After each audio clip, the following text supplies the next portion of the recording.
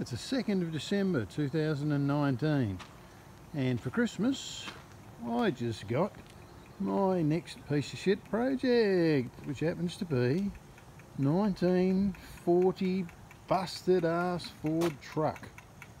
Sitting out on a farm hasn't run for 40 years. Up under here we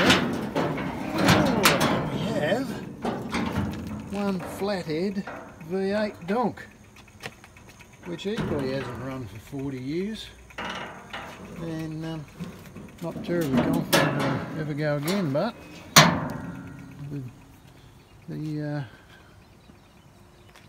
the miracle of CRC WD-40 see how that goes. But how about that that um, that tray is actually going to go. And we'll see Absolute rusted, busted ass piece of crap, eh? Now that's my 10 year project.